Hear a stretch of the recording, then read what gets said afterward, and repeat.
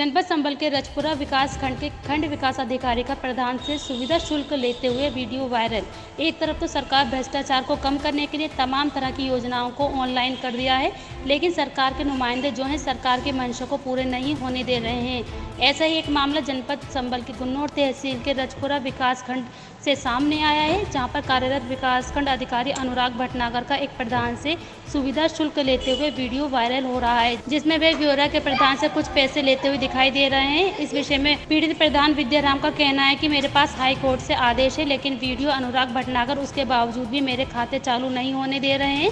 जब मैंने उनसे बात की तो उन्होंने मुझसे पंद्रह हज़ार रुपये की मांग की जिसके बाद मैंने उनको पैंतीस सौ रुपये दे दिए बाकी पैसे बाद में देने के लिए कहा है।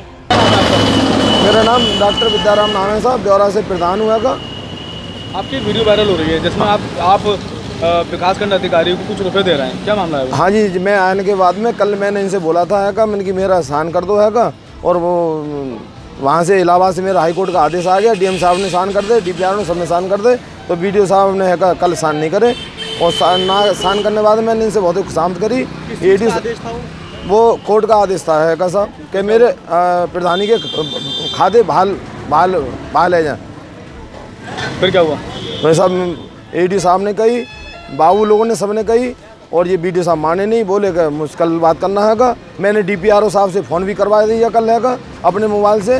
मगर ये फिर भी वो बात ना माने बोले मैं चल रहा हूँ बैजू और बैजू है का बात करेंगे मैं फिर मैं बैजू आया कल हैगा फिर ये हमारी मेरे नहीं।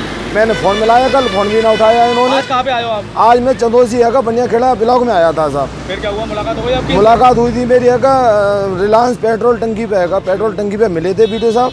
मिलने के बाद में मुझसे रुपए मांगे इन्होंने। तो मैंने हैगा मैंने साहब साइन कर दो। बोले ऐसे साइन नहीं करूँगा मैं। तो मैंने कैसे साइन करो साहब? तो मैंने मुझसे बोले ये के बीस हज़ार रुपये लाओ। तो मैं साहब मेरे पास कुल पाँच हज़ार रुपये पड़े हैं। तो बोले पाँच ही दे दो मैं पैंतीस सौ रुपये है साहब मैंने पैंतीस सौ रुपये ने गिन गिनिया मैंने इनके आगे है कर रख दे मैंने दे दे इन्हें रुपया है का नहीं है? यही सब बात है वो फिर इन्होंने कही सिग्नेचर कर दिए? सिग्नेचर साहब सुबह नहीं करे जब हाँ सिग्नेचर अब करें सर हाँ कर देगा बोले क्या अब पे- पैसा आप दे दो हैगा हमारे ड्राइवर के लिए और ड्राइवर को पैसा देने के बाद आप जाइए। कितने रुपए मांगे थे? पंद्रह हज़ार रुपये मांगे थे। तो मैंने की साहब मुझे पंद्रह हज़ार रुपये नहीं है पाँच हज़ार रुपये आए। तो ड्राइवर ने मना कर दी बोले वीडियो साहब उससे बात करना हैगा। तो मेरी फिर बात ना भाई।